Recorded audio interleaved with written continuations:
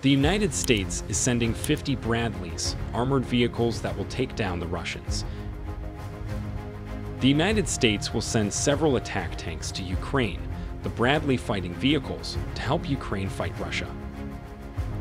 A spokesman for the U.S. Department of Defense, Pat Ryder, announced the military assistance.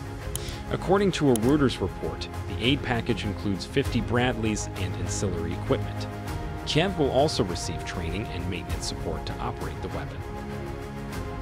It's definitely an armored vehicle that can move mechanized infantry into battle to support both defense and attack operations, Ryder said, as quoted by Russia Today.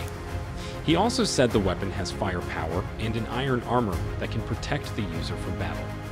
This is not just a tank, but a tank that Russia is very afraid of, said Ritter. Bradley was designed to transport and provide protection to infantry. This tank has many types. Ryder declined to comment on the exact time the combat vehicles would arrive in Ukraine. He was also silent about how much training time local soldiers needed to be able to use the weapon. The president of Ukraine, Volodymyr Zelensky, has often asked for heavy weapons in the midst of a raging war. In a list of requests released by a senior advisor to the presidency of Ukraine last December, the government appears to need a battle tank, the M1 Abrams.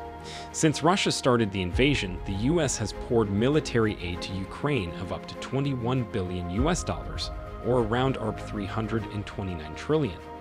US allies, such as Germany, France, and other Western countries, also supply weapons to Ukraine.